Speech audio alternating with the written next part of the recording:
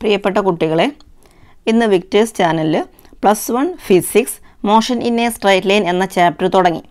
അപ്പോൾ ഇന്ന് തന്ന ഒരു അസൈൻമെന്റിന്റെ ആൻസറാണ് നമ്മൾ കണ്ടുപിടിക്കാൻ പോകുന്നത്. ക്വസ്റ്റ്യൻ വായിക്കൂ. Snowy leaves his house and walks along a straight road towards a market after five minutes it starts raining and so he stays there for two minutes and then returns home Snowy ഒരു കുട്ടിയുടെ പേര്. എന്തോ ആയിക്കോട്ടെ. Leaves his house and walks along a straight road വീട്ടിൽ നിന്നിറങ്ങി ഒരു straight റോഡിലൂടെ അപ്പോൾ അതവിടെ ഒരു ക്ലൂ ആണ്. അതായത് വൺ ഡയമെൻഷൻ മോഷൻ ആണെന്ന് കാണിക്കാൻ വേണ്ടിയിട്ടുള്ള ഒരു ക്ലൂ ആണത്. ടുവേർഡ്സ് എ മാർക്കറ്റ് മാർക്കറ്റിലേക്ക് പോവുകയാണ്. ഒരു സ്ട്രൈറ്റ് റോഡിലൂടെ മാർക്കറ്റിലേക്ക് പോവുകയാണ്.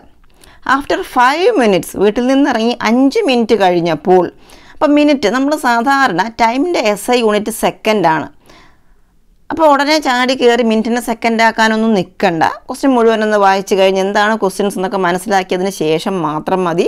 തൽക്കാലം മിനിറ്റിൽ തന്നെ നിൽക്കട്ടെ ടൈമിന്റെ പ്രാക്ടിക്കൽ യൂണിറ്റാണ് മിനിറ്റ് അപ്പോൾ അഞ്ച് മിനിറ്റ് കഴിഞ്ഞപ്പോൾ മഴ പെയ്യാൻ തുടങ്ങുന്നു.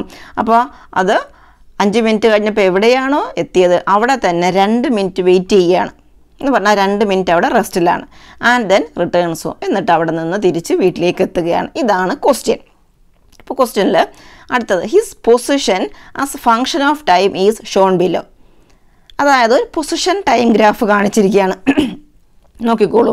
ഇതാണ് ആ കുട്ടിയുടെ പൊസിഷൻ ടൈം ഗ്രാഫ് നമ്മൾ പൊസിഷൻ ടൈം ഗ്രാഫ് വരയ്ക്കുമ്പോൾ ടൈം എക്സ് ആക്സിസിലും പൊസിഷൻ വൈ ആക്സിസിലുമാണ് അവിടെ തന്നെ പൊസിഷൻ മീറ്ററിലും ടൈം സെക്കൻഡിലുമാണ് മാർക്ക് ചെയ്യാറുള്ളത്. പക്ഷേ ഇവിടെ മാർക്ക് ചെയ്തിട്ടുള്ളത് കിലോമീറ്റർ ആണ് പൊസിഷന്റെ ഡിസ്റ്റൻസിന്റെ പ്രാക്ടിക്കൽ യൂണിറ്റായ കിലോമീറ്റർ ആണ് പൊസിഷൻ മാർക്ക് ചെയ്യാനായിട്ട് ഉപയോഗിച്ചിട്ടുള്ളത്. അതുപോലെ തന്നെ ടൈം മാർക്ക് ചെയ്യാനായിട്ട് മിനിറ്റുമാണ് തൽക്കാലം നിങ്ങൾ അതൊന്നും മാറ്റം വരുത്തേണ്ട അതൊക്കെ അവിടെ കിടക്കട്ടെ. ഇവിടെ ഈ ഗ്രാഫ് നോക്കിക്കോളൂ നിങ്ങൾ. എന്താണ് ഗ്രാഫിൽ കാണുന്നത്? ഓ എന്ന് പറയുന്നത് വീട്ടിൽ നിന്ന് വീട് റെഫറൻസ് പോയിന്റ് എ അവിടെ നിന്ന് ഇറങ്ങി ബിയിലെത്തുകയാണ്. അതായത് ബിയിലെത്താൻ എടുക്കുന്ന സമയം എന്ന് പറയുന്നത് അഞ്ച് മിനിറ്റ് ആണ് പറഞ്ഞല്ലോ അഞ്ച് മിനിറ്റ് കഴിഞ്ഞപ്പോൾ മഴ പെയ്യാൻ തുടങ്ങിയത് അതായത് ബിയിലെത്തിയപ്പോഴാണ് മഴ പെയ്യാൻ തുടങ്ങിയത്. അപ്പോൾ ആ കുട്ടി രണ്ട് മിനിറ്റ് അവിടെ വെയിറ്റ് ചെയ്തു. അതായത് കുട്ടി ബിയിൽ തന്നെയാണ് നിൽക്കുന്നത്. പക്ഷേ നമ്മൾ ഗ്രാഫിൽ ബി തന്നെ കാണിക്കാൻ പറ്റില്ല. കാരണം എന്താണ്? ടൈം അവിടെ നിൽക്കുന്നില്ലല്ലോ. ടൈം ആരെയും കാത്തു നിൽക്കുന്നില്ല. ടൈം അപ്പോഴും മുന്നോട്ട് പോയിക്കൊണ്ടേയിരിക്കും. കുട്ടി രണ്ട് മിനിറ്റാണ് അവിടെ നിന്നത്. അപ്പോഴും പൊസിഷൻ ബി തന്നെയാണ്. അപ്പം നമ്മൾ റെസ്റ്റിലുള്ള ഒരു ഒബ്ജക്റ്റിന്റെ ഗ്രാഫ് വരയ്ക്കുമ്പോൾ അത് എക്സ് ആക്സിസിന്റെ പാരലായിട്ടുള്ള സ്ട്രൈറ്റ് ലൈനാണ് കിട്ടുന്നതെന്നൊക്കെ പഠിച്ചു കഴിഞ്ഞിട്ടുണ്ട്. അപ്പം രണ്ട് മിനിറ്റ് അവിടെ വെയിറ്റ് ചെയ്യുമ്പോൾ ഗ്രാഫ് ബിയിൽ തന്നെ നിൽക്കുന്നില്ല. ടൈം മുന്നോട്ട് പോകുന്നത് കൊണ്ട് ബി സി എന്ന് പറയുന്ന പോർഷൻ അതായത് കുട്ടി റെസ്റ്റിലിരിക്കുന്നത് ബി സി എന്ന് പറയുന്ന പോർഷനാണ് രണ്ട് മിനിറ്റ് അതായത് ഏഴ് മിനിറ്റിൽ ഏഴ് മിനിറ്റ്. സി കാണിച്ചിരിക്കുകയാണ്. അത് കുട്ടി റെസ്റ്റിൽ തന്നെയാണ്. പിന്നെ സിയിൽ അതായത് ഏഴ് മിനിറ്റ് ആയപ്പോൾ ഏഴ് മിനിറ്റ് ആയപ്പോൾ മഴ തോർന്നു. മഴ തോർന്നപ്പോൾ വീണ്ടും അത് തിരിച്ച് വീട്ടിലേക്ക് പോകുന്ന ആ ഒരു അതിന്റെ പൊസിഷൻ ടൈം ഗ്രാഫാണ് ഈ കാണിച്ചിട്ടുള്ളത്. അഞ്ച് മിനിറ്റിൽ ബിയിൽ ഏഴ് മിനിറ്റ് വരെ ബിയിൽ തന്നെയാണ്. അതായത് സി എന്ന് പറയുന്ന പൊസിഷൻ കാണിച്ചിട്ടുണ്ട്. ഏഴ് മിനിറ്റ് വരെ കുട്ടി ബിയിൽ തന്നെയാണ്. പിന്നീട് അവിടെ നിന്ന് പത്ത് മിനിറ്റ് എടുത്ത് ഏഴ് മിനി ഏഴ് മിനിറ്റിൽ നിന്ന് പത്ത് മിനിറ്റ് എടുത്ത് എവിടെ എത്തി? പത്താമത്തെ മിനിറ്റിൽ കുട്ടി തിരിച്ച് വീട്ടിലെത്തുകയാണ്. ഏഴ് മിനിറ്റിൽ നിന്ന് വീണ്ടും അത് മൂന്ന് മിനിറ്റ് എടുത്ത് അതായത് പത്താമത്തെ മിനിറ്റിൽ കുട്ടി തിരിച്ച് വീട്ടിലെത്തുകയാണ്. ഇതിന്റെ ഒരു ഗ്രാഫാണ് ഈ കാണിച്ചിട്ടുള്ളത്. നമുക്ക് ക്വസ്റ്റ്യൻസ് ഓരോന്നായിട്ട് വായിക്കാം. അപ്പോൾ ഇതാണ് ക്വസ്റ്റ്യൻ തന്നിട്ടുള്ളത്.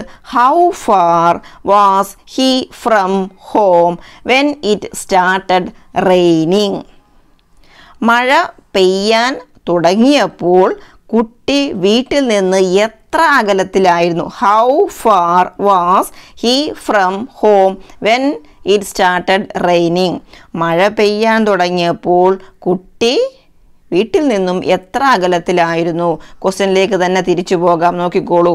ക്വസ്റ്റ്യനിൽ പറഞ്ഞത് എന്തായിരുന്നു? അഞ്ച് മിനിറ്റ് കഴിഞ്ഞപ്പോഴാണ് മഴ പെയ്യാൻ തുടങ്ങിയത് അല്ലേ? ക്വസ്റ്റ്യനിൽ പറഞ്ഞിട്ടുണ്ടല്ലോ അതാണ്ട് ക്വസ്റ്റ്യനിൽ പറഞ്ഞിരിക്കുന്നു.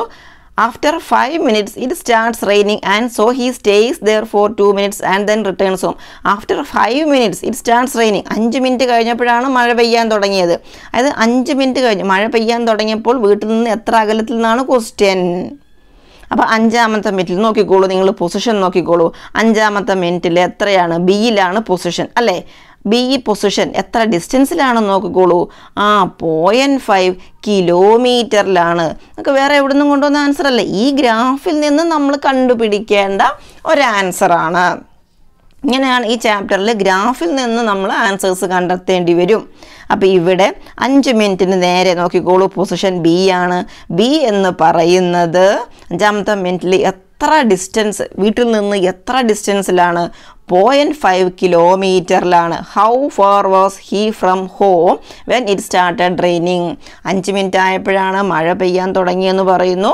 അഞ്ച് മിനിറ്റ് ആയപ്പോൾ ആ കുട്ടിയുടെ പൊസിഷൻ എന്ന് പറയുന്നത് വീട്ടിൽ നിന്നും പോയിന്റ് ഫൈവ് കിലോമീറ്റർ ഡിസ്റ്റൻസിലായിരുന്നു അപ്പോൾ ഇവിടെ എന്താണ് answer point five kilometre clear ആണല്ലോ?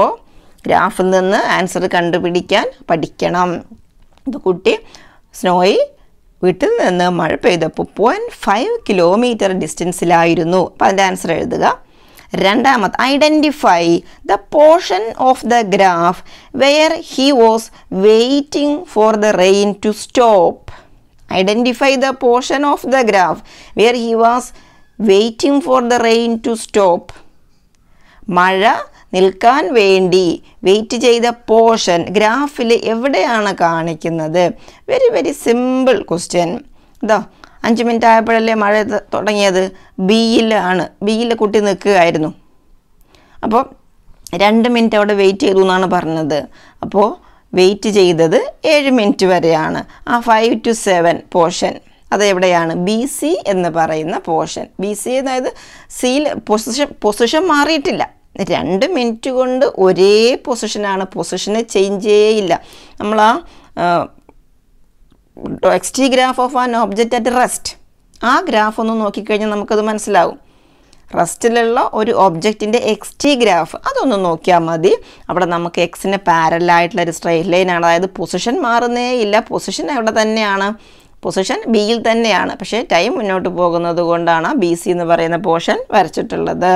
അപ്പോൾ ഒബ്ജക്റ്റിന്റെ പൊസിഷൻ ഇവിടെ തന്നെയാണ് ബിയിൽ തന്നെയാണ്. അപ്പോൾ ബി സി കൊണ്ടാണ് കുട്ടി മഴ മാറാൻ വേണ്ടി കാത്തു നിന്നത്.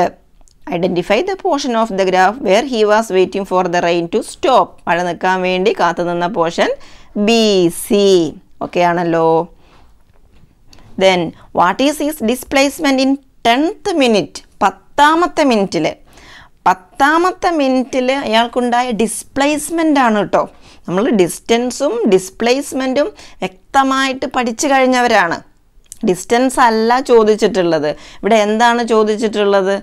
ആ what is is displacement in tenth minute പത്താമത്തെ മിനിറ്റിൽ ആ കുട്ടിയുടെ ഡിസ്പ്ലേസ്മെന്റ് ആണ്. എന്താണ് ക്വസ്റ്റ്യനിൽ പറഞ്ഞിട്ടുള്ളത്? ഒന്ന് വായിച്ചു നോക്കൂ. He stays there for two minutes and then returns home അല്ലേ? തിരിച്ച് വീട്ടിലേക്ക് എത്തി വീട്ടിൽ നിന്ന് തുടങ്ങി തിരിച്ച് വീട്ടിലെത്തി. അപ്പോൾ തന്നെ നമുക്കറിയാമല്ലോ ഡിസ്പ്ലേസ്മെന്റ് സീറോ ആണ് എന്നുള്ളത് അറിയാം. തുടങ്ങിയ പൊസിഷനിൽ തന്നെ തിരിച്ചെത്തിക്കഴിഞ്ഞാൽ ഡിസ്പ്ലേസ്മെന്റ് എത്രയാണ്? സീറോയാണ് ഇനി ഗ്രാഫിലൊന്ന് നോക്കിക്കോളൂ. എ എന്ന് പറയുന്നതും ഡി എന്ന് പറയുന്നതും കുട്ടിയുടെ വീടാണ്. അല്ലേ? എയിൽ നിന്ന് ബിയിലെത്തി മാർക്കറ്റിൽ പോകാൻ വേണ്ടി ബിയിലെത്തി അവിടെ എത്തിയപ്പോൾ മഴ പെയ്തപ്പോൾ അവിടെ തന്നെ നിന്നു. ദെൻ അവിടെ നിന്ന് തിരിച്ച് വീട്ടിലേക്ക് വരികയാണ്. സി എന്ന് പറയുന്ന പുതിയ പൊസിഷൻ അല്ല. ബി തന്നെയാണ് സി അപ്പോൾ അവിടെ നിന്ന് തിരിച്ച് വീട്ടിലേക്ക് എത്തി. അപ്പോൾ എയും ഡിയും കുട്ടിയുടെ വീടാണ്. എയിൽ നിന്ന് തുടങ്ങി തിരിച്ച് വീട്ടിലെത്തി കഴിഞ്ഞപ്പോൾ ഡിസ്പ്ലേസ്മെന്റ് എത്രയാണ് കുട്ടികളെ? ഡിസ്പ്ലേസ്മെന്റ് സീറോ ഓക്കെ ആണല്ലോ.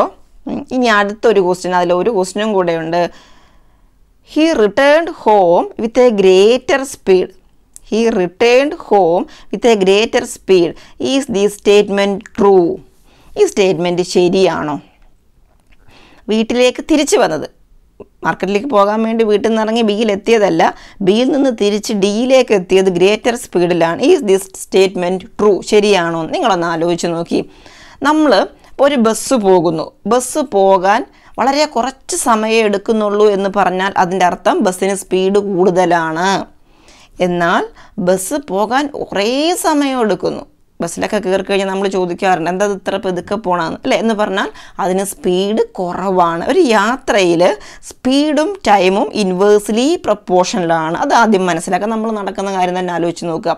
സ്പീഡ് കൂടുതലാണെങ്കിൽ കുറച്ച് സമയം മതി. സ്പീഡ് കുറവാണെങ്കിൽ ഒരുപാട് സമയം വേണം.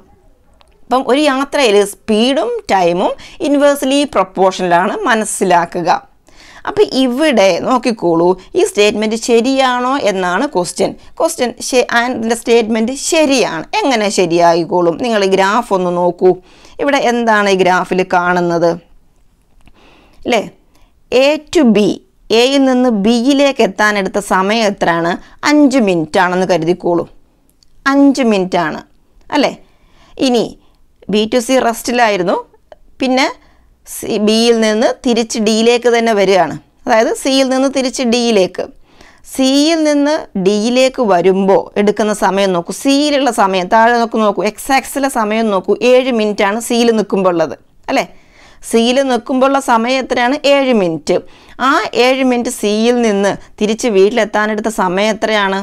നോക്ക് സെവൻ ടെൻ അപ്പോൾ ten minus seven ten minus seven എത്രയാണ്? ടെൻ മൈനസ് സെവൻ എന്ന് പറയുമ്പോൾ ത്രീ മിനിറ്റ് ഈ സി എന്ന് പറയുന്നെങ്കിലും സി എവിടെയാണ് കുട്ടികളെ? ബി ആണെന്ന് തന്നെ ഞാൻ പറഞ്ഞു. അല്ലേ? അപ്പം നിങ്ങൾ ഇങ്ങനെ ഒന്ന് ചിന്തിക്കൂ.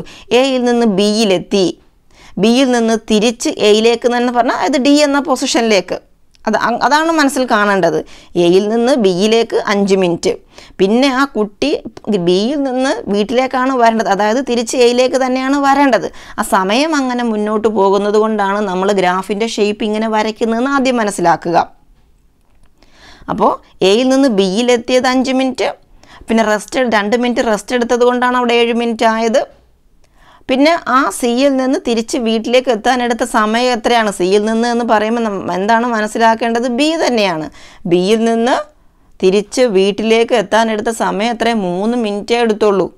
അപ്പോൾ എയിൽ നിന്ന് ബിയിലേക്ക് അഞ്ച് മിനിറ്റ് എടുത്തു. പിന്നെ തിരിച്ച് ബിയിൽ നിന്ന് തിരിച്ച് വീട്ടിലേക്ക് മൂന്ന് മിനിറ്റേ എടുത്തുള്ളൂ. അല്ലേ? അപ്പം മഴ പേടിച്ച് കുട്ടി കുറച്ച് സ്പീഡിൽ നടന്നു അല്ലെങ്കിൽ ഓടി എന്നല്ലേ അതിന്റെ അർത്ഥം? അങ്ങോട്ട് അഞ്ച് മിനിറ്റ് ഇങ്ങോട്ട് മൂന്ന് മിനിറ്റ് എന്ന് പറഞ്ഞാൽ അതിന്റെ അർത്ഥം എന്താ? തിരിച്ചു വരുമ്പോൾ സ്പീഡ് കൂടുതലായിരുന്നു സമയം കുറച്ചേ എടുത്തുള്ളൂ. അപ്പോൾ അങ്ങനെ ലോജിക്കലായിട്ട് ഒരുപാട് ക്വസ്റ്റ്യൻസ് നമുക്ക് ഈ ചാപ്റ്ററിൽ നിന്ന് ആൻസർ ചെയ്യേണ്ടി വരും. അവിടെയൊക്കെ ഒന്നും ഒരു തിയറി ബൈഹേർട്ട് പഠിച്ച് നമുക്കൊന്നും ആൻസർ ചെയ്യാൻ പറ്റില്ല. കാര്യങ്ങളെ മനസ്സിലാക്കി മാത്രമേ ആൻസർ ചെയ്യാൻ പറ്റുള്ളൂ. ഇപ്പോൾ ഇവിടെ സ്ട്രൈറ്റ് ലൈൻ മോഷൻ ഒക്കെ പറയുന്നു. പക്ഷേ ചില കുട്ടികൾ ചിന്തിക്കുക ഈ ഗ്രാഫ് കാണുമ്പോൾ ഇതെങ്ങനെ സ്ട്രൈറ്റ് ലൈൻ എന്ന് ചിന്തിക്കുക. അപ്പം അങ്ങനെയൊന്നും ചിന്തിക്കരുത്. ഗ്രാഫിൽ അങ്ങനെയൊന്നും മാർക്ക് ചെയ്യാൻ പറ്റില്ല.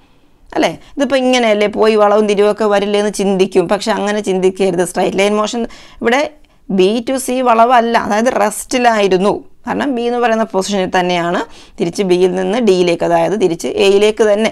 ആ ടൈം അങ്ങനെ മുന്നോട്ട് പോകുന്നതുകൊണ്ട് നമുക്ക് ഇങ്ങനെ വരയ്ക്കേണ്ടി വരുന്നു അത്രയേ ഉള്ളൂ. അപ്പോൾ രണ്ടാമത്തെ തിരിച്ച് വരവിൽ മൂന്ന് മിനിറ്റേ എടുത്തുള്ളൂ എന്ന് പറഞ്ഞാൽ സ്പീഡ് കൂടുതലായിരുന്നു എന്നാണ് അതിന്റെ അർത്ഥം. അപ്പോൾ നോട്ട്ബുക്കിൽ അതിന്റെ ആൻസർ എഴുതാം. അപ്പോൾ ആൻസർ എന്താ എഴുതണം സ്റ്റേറ്റ്മെന്റ് ഈസ് ട്രൂ അപ്പോൾ അടുത്ത അസൈൻമെന്റ് ആൻസർ ആയിട്ട് നമുക്ക് അടുത്ത ക്ലാസ്സിൽ കാണാം. താങ്ക്